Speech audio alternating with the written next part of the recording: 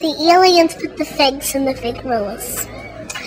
You see, they're aliens from planet Fig, and the spaceship takes the um, fig rolls back to the supermarket. But I'm, I'm not sure if they're bad or good. I think they're probably good because they make fig rolls.